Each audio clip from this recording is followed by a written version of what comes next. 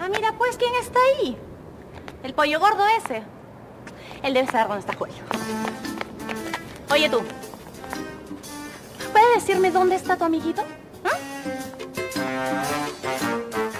¿Joel? No sé dónde está. Debe estar trabajando. ¿Algún recado? No, ninguno. Lo que tengo que decirle, tengo que decírselo en su cara. ¿Hizo algo malo?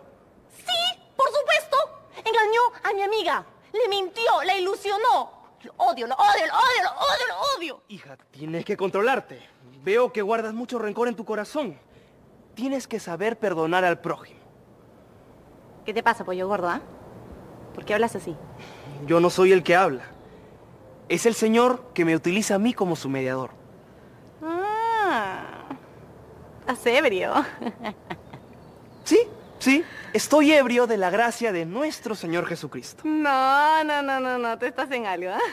¿Qué te has metido?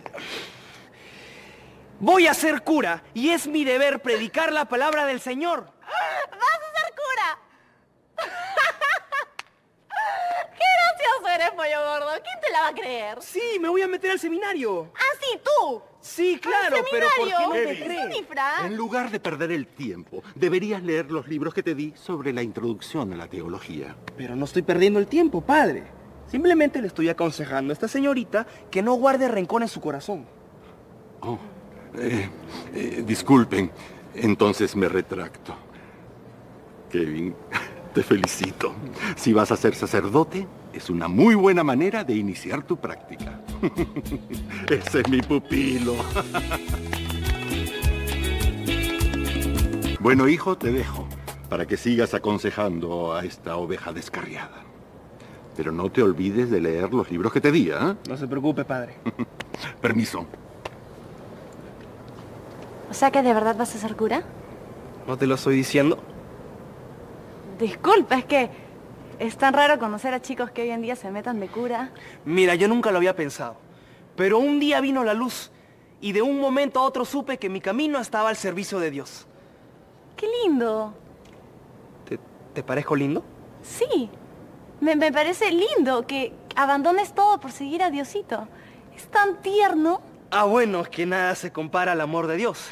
Y cuéntame, ¿qué piensas hacer cuando salgas del seminario? Ah, ah, bueno, me gustaría viajar por todo el mundo, ayudar a los niños del África y a los más necesitados. Y pienso bendecir todo lo que está a mi paso y poner mi granito de arena para que este mundo sea cada día mejor. ¡Qué lindas palabras! Y cuéntame más, ¿qué otras misiones tienes? Ah, bueno, pienso poner un lugar para la gente desamparada, para las personas con cáncer, para los más necesitados. Y bueno, esas son mis expectativas. Servir y simplemente dar. Cuando ya seas curita voy a venir a confesarme contigo. Y yo encantado. Bueno, pollo, este, futuro padre Kevin, ya me tengo que ir. Dile a Joel que de todas maneras tengo que hablar con él. Conversa, pero no pelees. Ya, te lo prometo. Bueno, puedes ir en paz. Chao. Y ha sido un gusto conversar contigo. Es que es difícil encontrar a chicos que hablen otra cosa que no sean motos, fiestas, chicas, chela. Tú sabes. sí. Chao. Nos vemos. Chao.